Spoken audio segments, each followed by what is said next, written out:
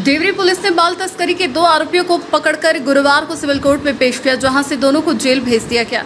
Jail भेजने से पहले दोनों आरोपियों का मेडिकल जाँच सदर अस्पताल में करवाया गया। इस दौरान इनके पास से बरामद सात नाबालिग बच्चों को सी को सुपुर्द किया गया। बताया गया कि इन पर नाबालिग बच्चों को बाल श्रमिक के रूप में बाहर भेजने का प्रयास का आरोप है।